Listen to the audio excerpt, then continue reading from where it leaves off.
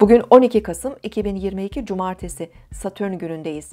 İkizler Burcu'ndaki Ay 1.28'de Balık Burcu'ndaki Jüpiter'le yaptığı dik açının ardından boşluğa girecek. Günün ilk saatlerinde duygularımızı kontrol etmekte zorlanabiliriz ve abartılı davranışlarda bulunabiliriz.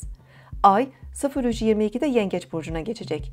Daha duyarlı ve hassas enerjilerle önümüzdeki iki gün özel yaşamımız, ailemiz, evimiz, yuvamız ön plana çıkabilir ailemiz ve sevdiklerimizi koruma ve besleme içgüdülerimiz kuvvetli olacağından onların ihtiyaçlarıyla da daha fazla ilgilenebiliriz. Sorumluluklar, duygusal baskı ve kısıtlamalar yaratabilir. Güneş ve Satürn arasındaki dik açının da etkisi devam ediyor. Geçmiş eylemlerimizin sonuçlarını alabilir, eksik ve hatalarımızla yüzleşebiliriz.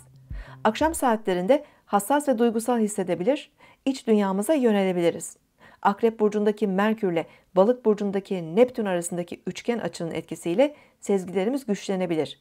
Psikolojik olarak bizi zorlayan, sıkıntı veren kavramlarla yüzleşebilir, bazı gizli durumları fark edebiliriz.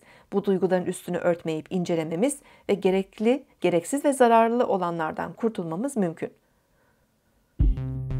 Siz de şimdi kanalımıza abone olun, yorumlar bölümüne sorularınızı yazın, sürprizlerimizden haberdar olun.